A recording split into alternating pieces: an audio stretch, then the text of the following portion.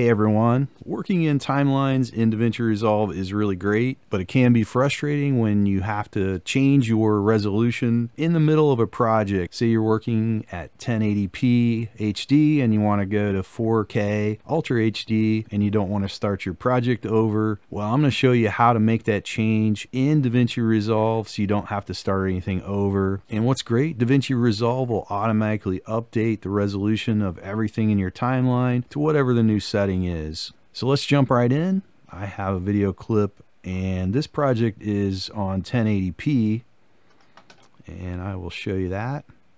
Go up to your timeline and right click on that timeline and you'll see timelines. Scoot over here to timeline settings you can see our current settings for this project. I have a 1080p HD setting. So this is the format of the timeline. This is what your monitor is outputting and this is what you're going to output when you deliver this. If I go to format here, everything is grayed out.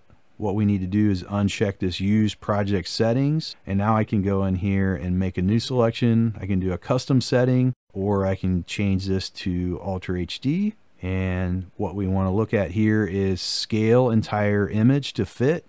So mismatched resolutions now will be updated with the Ultra HD, which is super cool and time saving.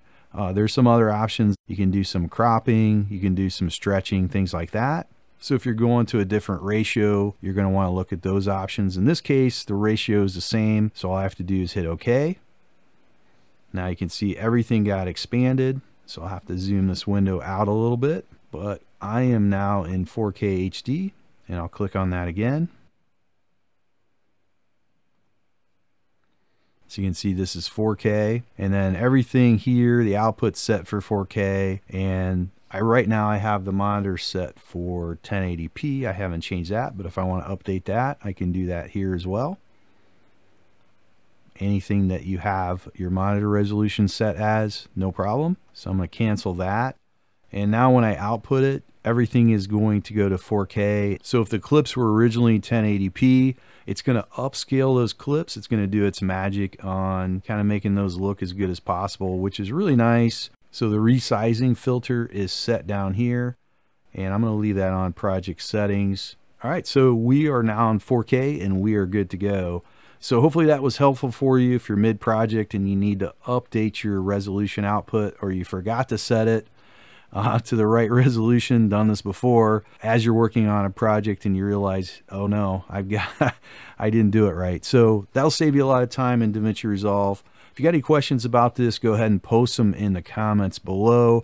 It doesn't work perfect for every single case, but I found it to be super useful myself. I really appreciate you guys tuning into this video. Please subscribe to the channel and give it a thumbs up. I would really appreciate that again. Thanks.